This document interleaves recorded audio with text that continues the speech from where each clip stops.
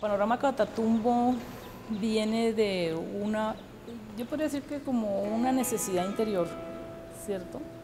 Que inicia con una instalación que anteriormente se llamó Catatumbo, que era una instalación pues, que quería hablar sobre el carbón, la minería en el Catatumbo y fue como una reconciliación que tuve con, con el Catatumbo de donde yo soy.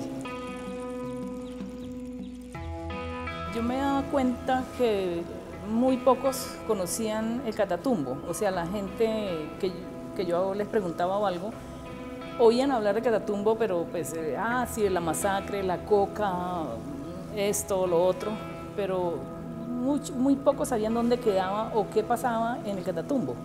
Y es cuando empiezo con toda una investigación. Primero un regreso en mis memorias, ¿no? un mirar hacia adentro y recordar mi niñez.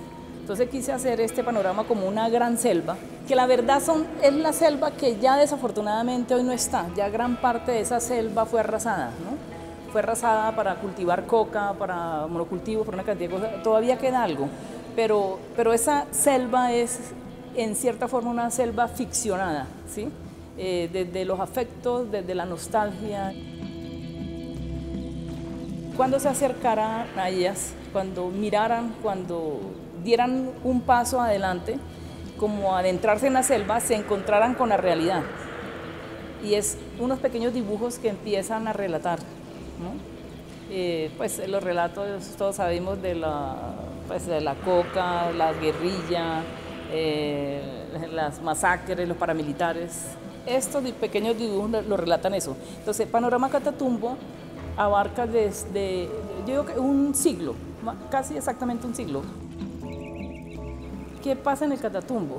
¿Por qué esta tierra es tan apetecida? ¿Desde qué momento empieza a ser disputada?